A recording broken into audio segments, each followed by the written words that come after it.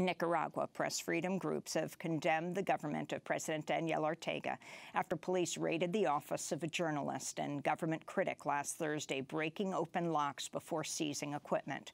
The raid came as Nicaraguan police also seized the headquarters of a prominent human rights group and after lawmakers outlawed nine NGOs critical of Ortega's government. This is Carlos Fernando Chamorro, a prominent TV news host and editor of the digital newspaper Confidencial. El objetivo es acallarnos.